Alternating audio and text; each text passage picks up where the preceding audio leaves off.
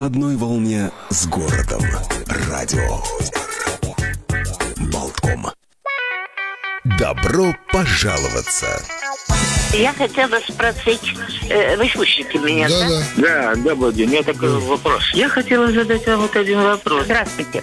Я по такому поводу. Каждый понедельник. По сути вашего вопроса, первое, Пожалуйста, да, ответьте на вопрос, почему такой закон принят? это уже не соблюдение строительных нормативов. В 10 утра. Добрый. Господин Сидорко, не могли бы вы э, разъяснить проблему проверки счетчиков? А, Здрасте. Вот вопрос такой. У нас два подвала идут параллельно, да? И два входа в них.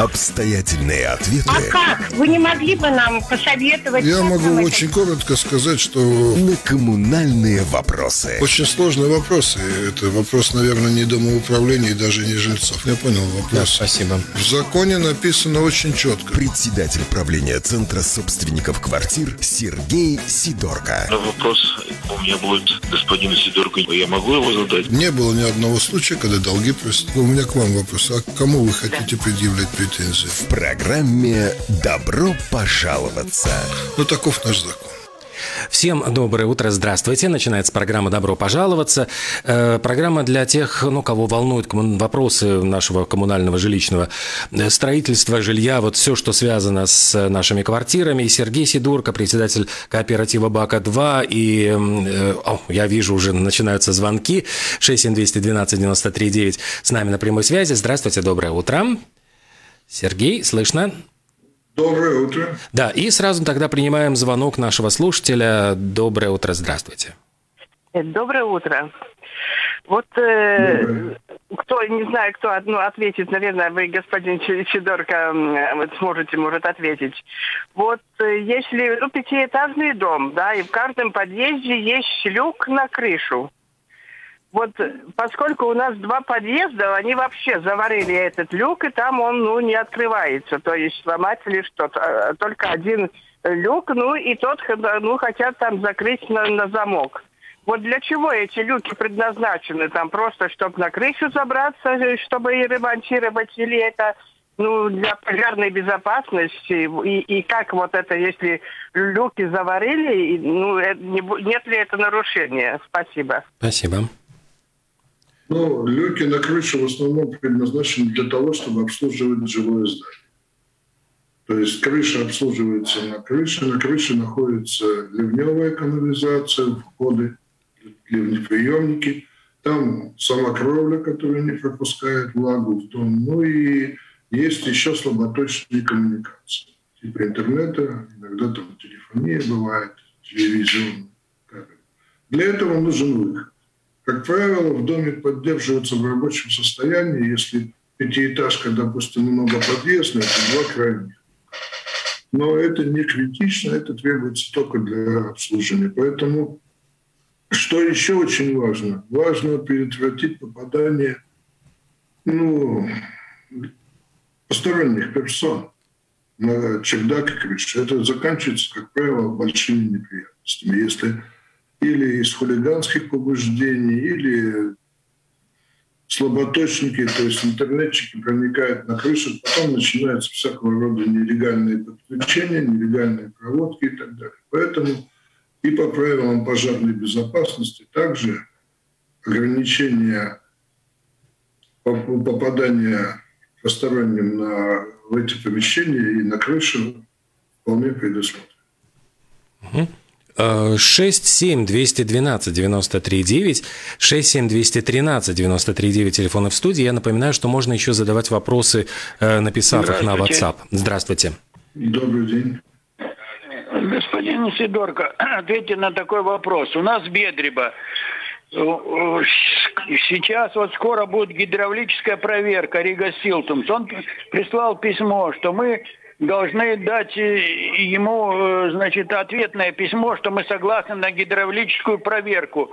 Но п- там какой-то участок, несколько десятков метров, подходящий к дому нашему, считается нашим. И для этого нужна вот такая бюрократия разрешения. Раньше писал Парвелникс, А теперь требует с Бедреба. Вот я, Валдис Лоцик, должен давать разрешение. Во-первых, имею ли я право это делать? И почему э, управляющая компания не принимает от управляющей компании? Говорят, что мы, Бедреба, за все отвечаем, и мы должны все эти бумаги подписывать. Спасибо. А кто, кто управляет домом? А, человек повесил уже трубку, к сожалению. Понимаете, если, если Бедриба управляет домом и заключила договор с так называемой управляющей компанией, то здесь ситуация чуть другая. Это означает, что управляющий Бедриба, а та компания является просто сервисной компанией, которая выполняет заказ на обслуживание. Принципиально разные вещи. И если Бедриба управляет домом, то она и должна давать согласие. Теперь относительно гидравлических испытаний. Как правило, гидравлические испытания происходят в границах ответственности Рика В данном случае, насколько я понимаю, часть трассы не была перенята Рига то есть в свое время была компания, когда Рига предлагал, что он выкупит все вот эти участки, которые там исторически образовались, типа не его, и они, по-моему, эту практику и до сих пор. Поэтому я бы советовал в первую очередь поинтересоваться, можно ли этот участок трассы передать в Егосил. Это было бы разумно. Тогда гидравлические испытания не касались бы вашего дома, вы бы перекрыли свои задвижки, и на этом все закончилось. А так вам надо давать согласие, согласие если вы юридически являетесь управляющим. Ну и, соответственно, подумайте о том, чтобы все-таки рано или поздно эту трассу придется ремонтировать. И это будет очень дорого. Как правило, такие трассы ремонтировать – это очень дорогое удовольствие. Лучше вам ее постараться передать в собственность Лига Сил. Угу.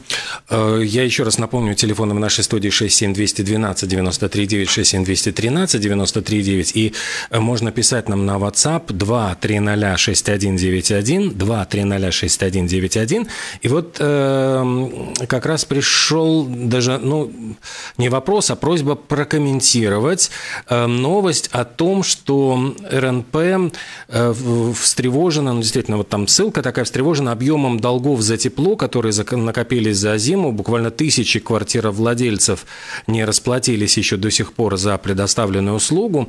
И если раньше компания сама покрывала часть долгов для того, чтобы начинать отопительный сезон, э, теперь РНП говорит, что такая практика, такой возможности вообще не будет.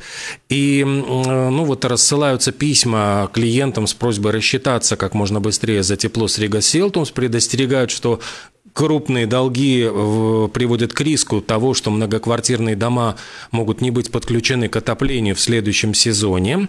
И вот здесь, э, в этой же новости, сообщается о том, что предлагается новая практика уже включать процент долгового риска в тариф на тепло для того, чтобы вот ликвидировать эту опасность э, того, что эти долги останутся неоплаченными. Вот просят прокомментировать эту новость. Давайте начнем с самого последнего. Тариф. Тариф устанавливается в пределах города Риги. Мне не очень понятно, почему те долги, которые образовались из-за бездействия РНП, долги между собственниками квартиры и самим РНП, это результат бездействия РНП и неправильного организации юридической работы, должны распространяться на всех жителей Риги. Мне это непонятно. Поэтому и, э, скорее всего, может речь о том, что РНП само предлагает внутри себя поднять еще стоимость тепла, но это не так. Я не знаю, допустим, мой кооператив вышел по нулям, никакой проблемы нет. В принципе, долги вообще это не новость. И то, что объявляет Рига Силтон, что он больше не сможет а, подключать вот так вот, как это было раньше, это означает, что Рига Силтон лишается политической поддержки Рижской думы. Потому что раньше это делалось не экономическими, а политическими. Угу. Это первое. Значит, готовьтесь к тому, что вы переходите под управление частной компании, где 100% капитала принадлежит самоуправлению, но не больше. Следующий момент, да, действительно, если дом не расплатится, Рига Ситов ведет такую практику, что в течение отопительного сезона он не прекращает поставки тепла, а чтобы подключиться к теплу, ему нужно выплатить 100% предыдущих поставок. предложение, с одной стороны, предложение РНП сделать специальный фонд, я бы сказал это так, оно не новость, оно давно уже обсуждается, и, в принципе, закон позволяет собственникам квартир сделать специальный фонд для погашения обязательств. То есть все-таки с Вигас Силтумсом заключил договор не Вигас Намопородникс и даже не Иванов, Петров или Янсенс. Заключила общность собственников квартир. То есть вот вся, вся эта весь коллектив собственников заключил, и они несут в такой ситуации юридически коллективную ответственность. Поэтому здесь надо думать о механизмах, как можно гасить вот эти колебания платежеспособности. Они были, есть и будут. И второе, нужно, прежде чем соглашаться с тем, что долг был большой или маленький, наверное, надо спросить у управляющей компании, в данном случае Силтумс, а как вы вообще боролись с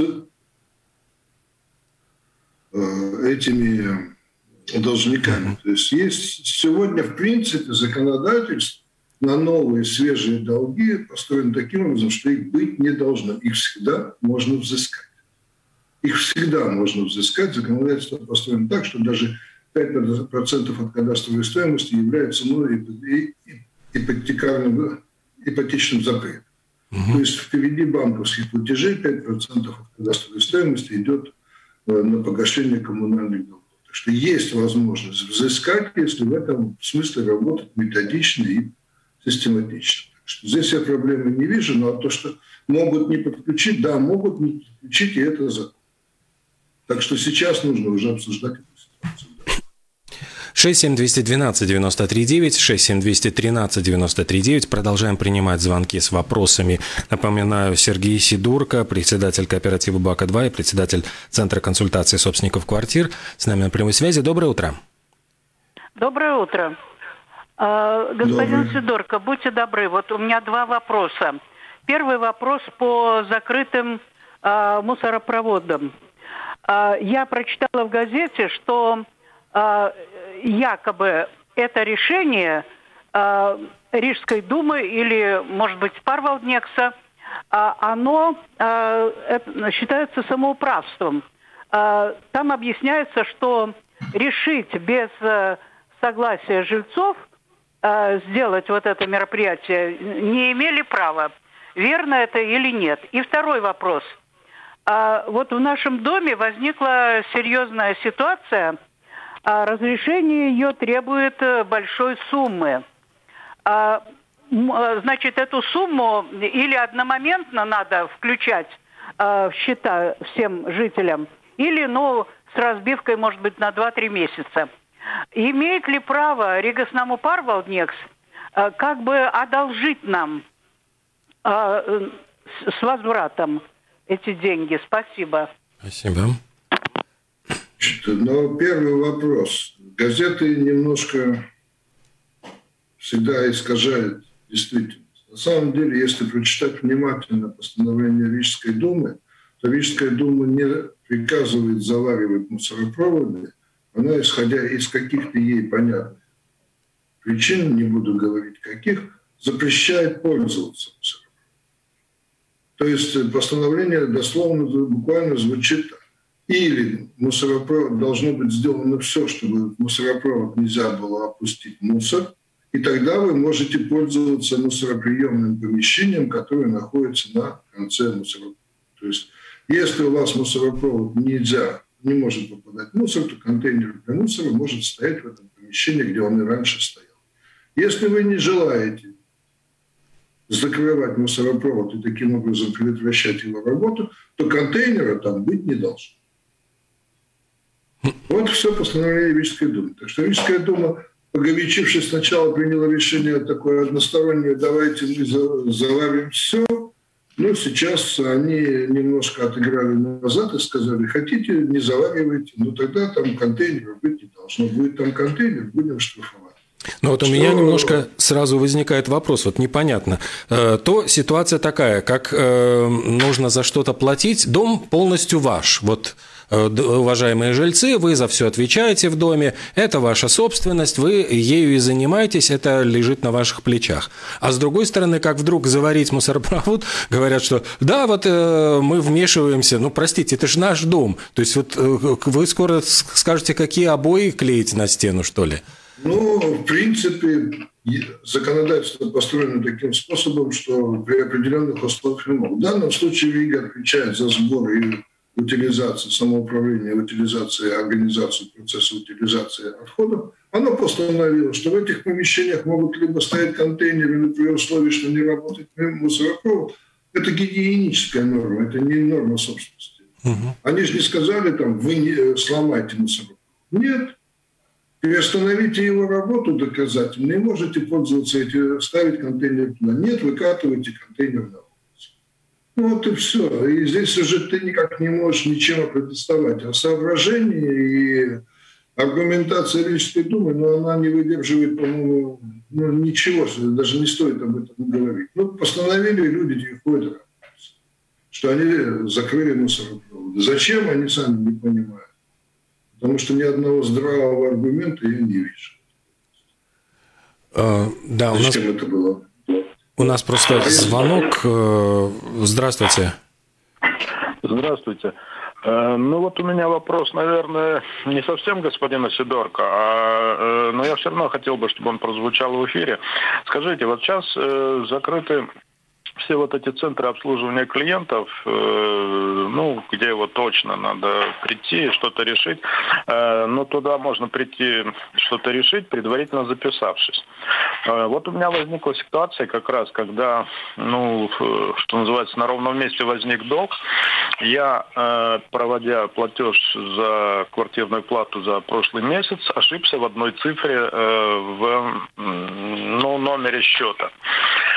А, значит, фактически долго нет. Деньги ушли на счет Рига Парвелднекс. Просто именно номер э, личного счета квартиры, куда вот эти э, суммы должны начисляться.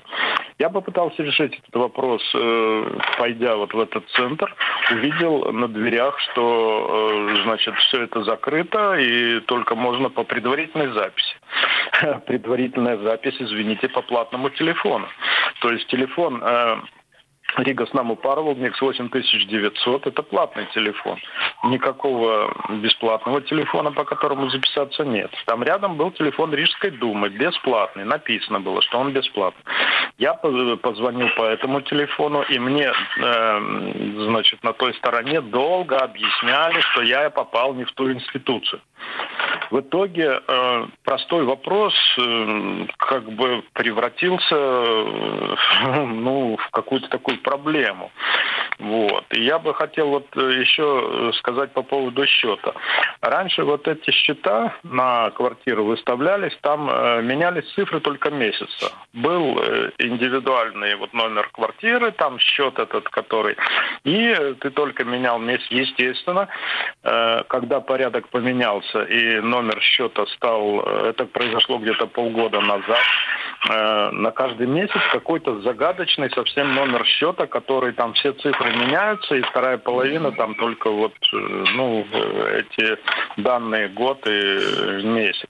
Вот хотелось бы услышать, э, почему в, Риж, в Рига Знамо Парвелднекс нету бесплатного телефона, по которому можно записаться, и, ну, вот по счету, почему изменился порядок нумерации счетов. Спасибо. Не повесили трубку? Скажите, вы интернетом пользуетесь? Э, да, я интернетом пользуюсь, но в интернете записаться э, тоже можно только через Рига с Наму Парвалдникс, вот это. Там нету номера телефона. Ясно. Я вам могу сказать сразу. Первое, что я бы вам сказал так, что порядок такого приема не мы придумали, нам его определили. Поэтому сам по себе порядок. Относительно того, почему платный телефон, я не являюсь структурой, которая относится к региональным породным, я считаю, что это отношение к клиенту. Нам в кооперативе, допустим, неоднократно предлагали всякого рода цифровую телефонию, которая ну, обладала тебе стоимостью. Есть такое понятие себестоимость, а есть тебе стоимость. То есть нам бесплатно, а всем звонящим это за деньги. Но это только характеризует отношение Рига с новым породником к своим клиентам. Относительно нумерации счета, но, скорее всего, это программное требование, потому что оплата приходит ну, клиентам в бешеное количество, поэтому их нужно распознавать. Возможно, что-то с математикой. Но если вы пользуетесь интернетом, никто вам не запрещает написать заявление и послать на Ригас Новопавловск. Если вы обладаете электронной подписью, на сегодняшний день это полезная функция, возьмите копию платежки, напишите суть своего и э, подпишите электронные подписи и отправьте этим ребятам. Они ответят. Они должны ответить в течение там, недели. И этот вопрос будет решен, потому что на самом деле личным присутствием вы там вряд ли. Вы попадете опять к какому-то менеджеру, который потом скажет, что я передам ваш вопрос в бухгалтерию. Здесь нужно по интернету решать вопрос. Э, еще, нет, Олег, я нет, хотел нет. сказать, что я ответил на ваш вопрос. Ну, не совсем, потому что, да, я так поступил, но, э, то есть я отправил в итоге по электронному, ну, ну, электронному, да, электронным способом, но вы понимаете, э, то есть оно ушло и ушло. То есть я ничего ответа Вы, да, не наверное, получил. увидите результат вашего письма, я извиняюсь, что перебиваю, в следующем месяце, потому что ваша ошибка банальна. Ваш счетная программа не засчитала на ваш лицо. Он висит в РНП, это стандартная ситуация, в таком случае он висит, висит как неопознанный. Ваше заявление – будет, скорее всего, быстренько передано в бухгалтерию, они его распознают, в следующем месяце вы увидите изменения в своем счете. Так обычно происходит. Нет большая проблема. И вряд ли она требует вашего личного участия там, в переговорах. Э, дело в чем, э, все правильно, но, э, во-первых, мне это стоило, ну, скажем так, русский у меня свободно, а латышский там с гарумзем и все такое. Но я не привык. Ребята, я это не обсуждаю. Я это не обсуждаю, Но... так есть. Да, так есть. Но э, помимо этого я хотел еще решить целый ряд вопросов э, вот в этом пункте, где можно прийти э, очно, потому что я являюсь, ну, как бы старшим э, в доме, э, и там хозяйственные вопросы многие, значит, Ну, неужели каждому... через сайт нельзя записаться? Вот я что-то не, нет, я не знаю. Вы знаете, может быть, вот на следующей передаче будет мой коллега, Павел Гонтарев. Может, позвоните еще раз, он, может быть, вам подробнее расскажет, как такая ситуация. Потому что я да, там хорошо, я бы, я бы хотел, чтобы, я не знаю, сумею ли я позвонить в следующий понедельник, но вот я хотел бы, чтобы журналист э, задал э, вопрос э, действительно представителям Ригоснама Парубутникс, почему нет бесплатного телефона для общения с клиентами. Хорошо, Спасибо. мы зададим этот вопрос. Еще от предыдущей радиослушательницы остался неотвеченный вопрос, может ли Рига с нами Паровникс предоставлять заем дом. Да. Был такой вопрос. Сразу скажу, наверное, и да, и нет. Но, скорее всего, это нужно решать в переговорах с самим Рига с Паровником. Если 2-3 месяца, то за счет оборотных средств они, наверное, могут. Но Скорее всего, это нельзя оформлять как заем и так далее. Там нужно говорить о других формах э, оформления этих документов. Потому что, в принципе, кредитовать никто не может, кроме кредитных учреждений. Значит, там нужно говорить о, о других способах оплаты. Какие мы, все это зависит от того, насколько решения дома о способах оплаты данных работ будут соответствовать ну, возможностям Викисна. Еще один звонок из прямого эфира. Здравствуйте, доброе утро. Извините, пожалуйста, я, я еще, еще один вопрос, я уже звонила. Mm-hmm. Вот скажите, пожалуйста, ну вопрос парковки возле дома. Э, вот у нас, ну, конечно, дом находится на частной земле, мы там арендуем и все такое. Ну и вот, чтобы установить знак, чтобы из соседнего дома они ставили буквально нашими дверями свои машины, установить знак там соответствующий, чтобы они не могли э, э, ставить машины. И что для того, чтобы такой знак вообще ну, организовать э, установку, нужно это согласие собственника земли. которые Конечно. находятся во всей Германии. Но это другой вопрос. Но если мы арендуем и платим арендную плату, это все равно нужно разрешение собственника земли для такого знака. Спасибо. По существующему законодательству, да. Нужно вообще за организацию движения, а организация стоянки – это уже организация движения транспорта на своей территории отвечает собственник земли. Ну, если там нет особых исключений. Поэтому, да, в данном случае нужно попросить согласие от собственника э, земли о том, что он согласился на установку знака. Я не вижу здесь проблемы, ведь есть, наверное, или доверенное лицо собственника земли, или с ним можно списаться. Сегодня в век интернета это можно сделать всегда. Еще сразу один вопрос. Здравствуйте, пожалуйста. Я не вопрос, я реплику хотела сказать. Платные телефоны. Где-то промелькнуло э, я не знаю, как это назвать. В общем, короче говоря, этот платный телефон, там деньги делятся пополам. Тот, у кого этот телефон, и тот, кто предоставляет телефон. Было такое, спасибо. Спасибо. Да, ну и тут, кстати, пришел пока вот вопрос э, на номер 2306191 на WhatsApp. Э, решетки на окнах незаконны, а также на балконах и лоджиях, вот спрашивает слушательница. В каких случаях? Незаконны. Они незаконны, если они не сделаны не по проекту, и проект не согласован в строительной управе, и э, наличие решеток или остекления не отражено в инвентаризационном деле. Вот все это вместе, если этого нет, то значит они не за. Угу. Ну, то есть, э, если человек хочет, э, например, на первом этаже поставить решетки на окна, ему просто нужно обратиться в стройуправу и э, ну, проект... Здесь, да, и нет, сначала к архитектору. Архитектор разработает проект, потом строю, строю право, она оценит. Но у меня всегда вопрос, а в чем, в чем смысл этих э, решеток? Помочь вору забраться на второй этаж? Угу.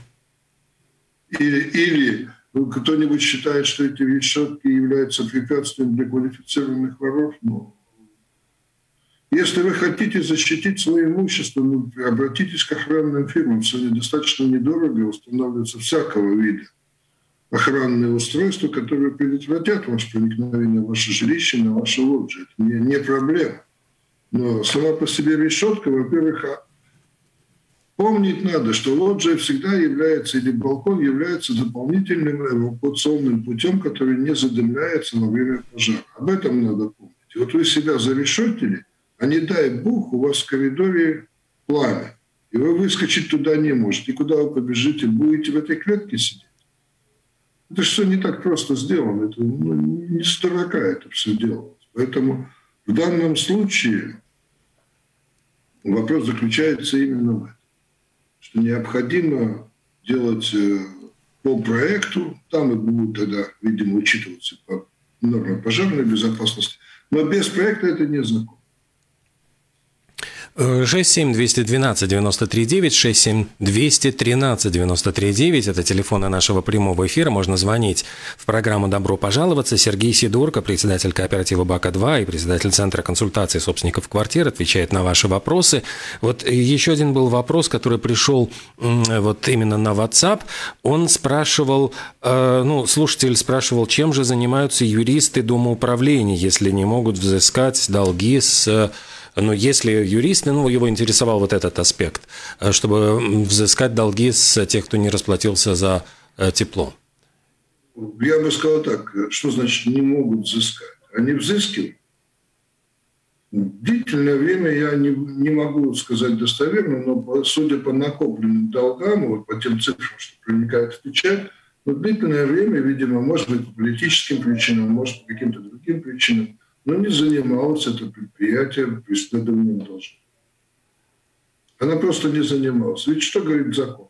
Сегодня нормальный управляющий при долге в 200-300 евро уже подает документы в суд. В этой ситуации суды рассматривают в течение 6 месяцев. То есть долг не может вырасти до таких там критических размеров, это одно. Второе, эти долги гарантированы в любом случае Если у человека кредит в банке или что-то, то по измененному законодательству эти долги, такие небольшие, там, тысячи, тысячи пятьсот до двух тысяч, они гарантированы государством. Так что здесь я не вижу, в чем проблема. Но это требует очень э, специфической организации работы и очень, скажем так, скрупулезной постоянной работы, потому что долг – это дело такое. Я могу сказать так, что по моей практике вообще на каждом доме висит долг от полутора до двух с половиной тысяч. Он не критичен, но он постоянно висит. Ты одного, с одного деньги получаешь, другой возникает. Это непрерывно такое живое тело, но с ним надо работать. С ним просто надо постоянно работать, тогда он не, не поднимается, не опускается, он стоит на оптимальном уровне, ну, проблем не представляет. Еще один вот вопрос пришел. Э, можно ли судиться с домоуправлением, что они не выполнили свою работу, которую оплачивает дом? Ну, то есть не взыскали долги с э, недобросовестных жильцов, и в результате дом, например, вот не подключили в следующем сезоне к э, отоплению? Значит, можно. Теоретически сейчас закон говорит о том, что если долг не взыскали, то Дальше есть определенные критерии, которые ну, я не буду оглашать в эфире, потому что их вам должны сказать юристы, но есть критерии, по которым суд может принять решение, что управляющий выполнял свою работу ненадлежащим образом, и в этом случае он должен будет погасить все долги, а потом уже дальше разбираться с тем, кого он вовремя не, с кем вовремя не работал. Такое возможность законодательство на сегодняшний день предусмотрено создавайте прецеденты. Но более подробно это нужно. Мне самому еще этому учиться надо. Ну, надеемся, что мы вот э, успокоили слушателей, потому что они вот как раз возмущались, что, дескать, получается, что домоуправление не выполнило свою работу, а пострадали в результате жильцы. 6 7 212 93 9, 6 7 213 93 9 Э, телефоны прямого эфира. Вы можете еще пару минут у нас есть э, дозвониться в программу «Добро пожаловаться». Сергей Сидорко, председатель э, Центра консультации собственников квартир, ответит на ваши вопросы, которые вот связаны с, как раз-таки с коммунальной службой, с долгами. С, я вижу, что тема мусоропроводов, конечно, она очень тоже э, актуальна и продолжает быть так. Вот еще пришел э, земля под, хозяйствен, под э, хозяйскими домами. Что в этом вопросе нового, спрашивают слушатели? Пока И... ничего. Пока ничего, пока все стоит на месте, потому что э, изменений законодательных нету. Единственное, что новое есть, следите внимательно за публикациями э, в Рижской думе, потому что сейчас идет пересмотр или проектирование и пересмотр квартала по части присуждения необходимых э, площади, необходимой для обслуживания дома. И там могут быть всякие сюрпризы. За этим надо следить. Если не попал ли ваш Да, у нас звонок. Здравствуйте, пожалуйста. Добрый день. Добрый. Будьте любезны, подскажите, пожалуйста, если это возможно. Вот э, застекление э, лоджий нам вы знаете ситуацию с этими ложными зацеплениями. Почему тогда стройуправа не запрещала этим э, фирмам, которые стеклят окна и лоджии, почему она не запрещала, у кого нет э, у кого нет разрешения они стеклили без всякого разрешения. Если бы ко мне пришла строй, вернее, э, фирма и стала стеклить окна и спросила бы, у вас есть разрешение? Есть, тогда, пожалуйста, мы вам. Если нет разрешения, мы вам не стеклим. Угу. И Я... второй вопрос, простите. Э, второй вопрос. Это не включена в плату в общую площадь моей квартиры включена, включена лоджия. Почему я должен держать лоджию открытой, чтобы мое э, жилье подвергалось коррозии и прочим, прочим природным явлениям? Пожалуйста, объясните, если это возможно. Спасибо. Э, ну, то есть первый вопрос, почему, когда вот фирмы, ну, то есть получается ситуация, как будто бы не следили за а, вот тем, что получил человек разрешение или нет. Многие, может быть, действительно искренне даже не знали, что нужно разрешение, чтобы застеклить лоджию. Насколько мне помнится, этот вопрос был сначала поднимался в 96-97 году, и тогда жилищное управление, вернее, комитета, жилищный комитет Рижской думы постановил, что пускай стеклят, и, и оставил вопрос в покое. Потом к 2000 году все-таки спохватились, и была волна с требованием все-таки создавать проект. Я это хорошо помню, потому что в 2001-2002 году мы разработали для своего кооператива типовые проекты остекления, согласовали Рижской управе, в Рижской стройуправе, и с этого момента наши жители не имеют никаких проблем с остеклением. Там основное, основное требование по остеклению, которое выдвигает и стройуправа и архитектурное управление, должен быть, должно быть единое фасадное решение. Мы такое решение предоставили, его согласовали, люди приходят, делают выкопировку из проекта, идут и дальше стеклят лоджи. Обвинять фирму в том, что она интересуется, есть ли у вас разрешение или нет, но это примерно то же самое, что покупая авторезину или автозапчасти, продавец должен спросить, а есть ли у вас машина, а есть ли у вас права, а есть ли у вас гараж? Не должен. Люди делают каждый свою работу. Вы должны как собственник готовиться. Теперь относительно плат.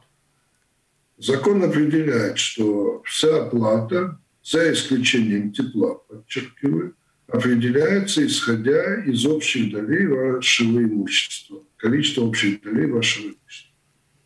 Значит, соответственно, чем больше квартира, то есть же входит в квартиру, площадь, общая площадь квартиры, тем больше вам надо платить за обслуживание, тем больше вам надо платить Э, за ряд других работ. Тепло не входит, тепло считается по внутренней, рассчитывается по внутренней площади. Э, ваше утверждение о том, что остеклив лоджи, вы защищаете ее от каких-то неблагоприятных э, погодных условий, но я бы сказал, вопрос спорный достаточно. Потому что я видел лоджии запотевшие, я видел лоджии, где влаги гораздо больше, чем на улице и так далее. Поэтому здесь все весьма и весьма тонко, и это нужно делать все-таки по проекту. Ну и последнее, давайте все-таки придерживаться того, что каждый в своей квартире хозяин внутри, но не снаружи. Снаружи мы должны поддерживать общий ответ. 67212-93-9. Еще один вопрос успеем принять. Здравствуйте. Говорите, пожалуйста. Да, пожалуйста. А, алло, да. алло, добрый день. Да, а, скажите, пожалуйста, а, упомянули в разговоре то, что в отношении тех жильцов, у которых есть долги, и при наличии кредита банка есть какая-то гарантированная сумма, которую государство, я так понял, с ваших слов, э, э, возвращает за должника, что ли. Не могли бы сказать, пожалуйста, как это работает? Это работает очень просто. Государство ничего не платит, но государство говорит, что впереди погашение ипотечного кредита идет 5% от э, кредита идет на погашение долга. То есть, работает, прописано, то есть таким образом, то есть да, такое есть. То есть банк не получит полную сумму своего интереса, пока определенная сумма от долга не будет погашена. Которая максимально составляет 5%. Ну, вот, от, 5%, от, да? от, вот вы знаете, я сейчас поплыву от кадастра или от, от суммы кредита, я сейчас не скажу точно, но это 5% есть. Или от того, или от того. То есть это довольно приличные деньги. Если у вас кредит 50-60 тысяч, то этого вполне хватает, чтобы полностью погасить долг. Если ну, его не давать разрастаться до космических э, размеров. Угу. Угу. А это какая-то новая норма такая или это всегда так было? Она недавно, она в гражданский закон внесена, по-моему, чуть ли не в прошлом году. Угу. Ну, ясно. Хорошо, спасибо большое вам. Спасибо. Спасибо. Да. Сразу еще, может быть, один звонок. Здравствуйте, пожалуйста. Говорите, пожалуйста, в трубку. Здравствуйте. Здравствуйте. А, это самое... Ну, насчет лоджии, я скажу, открытые лоджии медленно стареют и разрушаются, а балконы очень сильно э, э, от влаги а разрушаются и могут обвалиться. Поэтому я считаю, что хотя бы козырек надо сделать над каждым балконом и плевать на эту строительную управу. Вот так. Спасибо. Ну, я могу сказать одно. Может быть, в том, что вы говорите относительно балконов, есть рациональное зерно, но это не означает, что это можно делать без проекта. Нужно сделать проект. Здание должно выглядеть не как скворечник, сложенный из кучи разных домиков, которые непонятно как. Кто-то там шифером это заделает, еще потом, как правило, разрушение балконов идет из-за того, что жители не поддерживают нормальный порядок. Или захламляют эти балконы, не чистят от снега и так далее. Там есть очень много нюансов, поэтому я еще раз хочу сказать. Все можно делать, но нужно придерживаться порядка и закона. А это проект. Ну, наплевать так наплевать. Самое простое. Ну и, наверное, уже последний звонок успеем принять в нашей программе. Здравствуйте, пожалуйста. Добрый день. Добрый. Скажите, пожалуйста, если вот на собственника квартиры заявление в суд, да, вот, может ли кто должен защищать, присяжной адвокат или просто юрист сторону собственника квартиры и управляющей фирмы? Спасибо. Я могу, я могу ответить так, что, как правило, это вопрос уже практически не актуален, потому что на самом деле 90% э, процессов идут в письменном виде. Сейчас квартирные дела, вот, долги по квартплате, как правило, в очном порядке не рассматриваются. И вы будете готовы к тому, что если на вас подали в суд, ну не на вас, а, скажем так, по условному, человека подали в суд, то это дело может рассматриваться или в Айскалпе, или в Айспуте, или где-нибудь Фейли и так далее. Потому что сейчас система такая. Подается заявление в суд, э, есть некая служба, которая смотрит, где ближайший свободный судья, туда дело посылается, и, как правило, сейчас есть постановление, это рассматривается в письменном порядке. В устном порядке, если вы добиваетесь рассмотрения процесса в устном порядке, ну, вы можете брать с собой любого представителя. Единственное, о чем нужно помнить на сегодняшний день, что в гражданских судах – суд не предоставляет вам переводчика на госязык. Если вы пойдете, попадете в гражданский суд, и у вас не будет человека, который будет вас представлять, и вы сами не владеете языком, то вы должны взять с собой переводчика судебного, или должен быть ваш представитель, который будет э, владеть государственным языком достаточно много. Это нужно учитывать. Иначе вы будете просто ну, слушателем Судья вас посадит на скамейку, если вы придете сами, попытаетесь не на госязыке себя защищать. А кто вас будет защищать, это зависит от серьезности процесса и вашего выбора. Может юрист, может просто представитель, а может и присяжный адвокат. И единственное условие – это у этого человека должны быть соответствующие документы на право представлять. Ну что ж, спасибо большое. Вот время нашей программы истекло. Это была программа «Добро пожаловаться». Сергей Сидорко, председатель кооператива «Бака-2» и председатель э, Совета консультаций собственников квартир. Спасибо большое. До следующего понедельника. Всего доброго. До свидания.